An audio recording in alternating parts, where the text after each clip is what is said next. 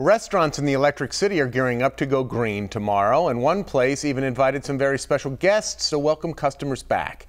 Newswatch 16's Elizabeth Worthington shows us who.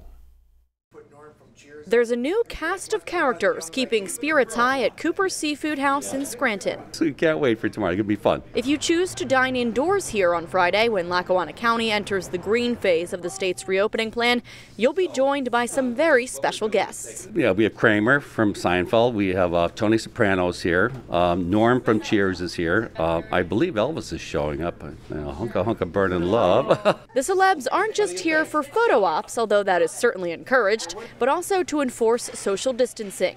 Owner Jack Cooper says this was the perfect way to make the most out of a tough situation. It's been very difficult. We closed uh, after uh, St. Patrick's Day. We closed for six weeks, and we then we just sterilized the whole restaurant, ripped it apart, cleaned it up.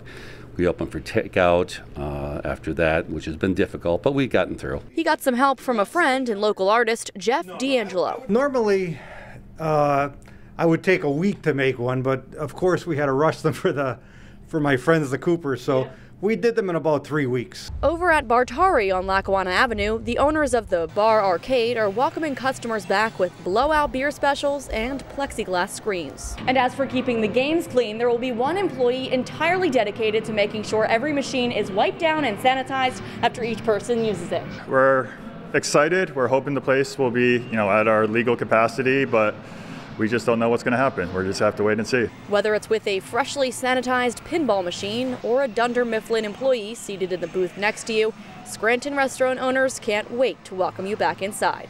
Elizabeth Worthington, Newswatch 16, Scranton.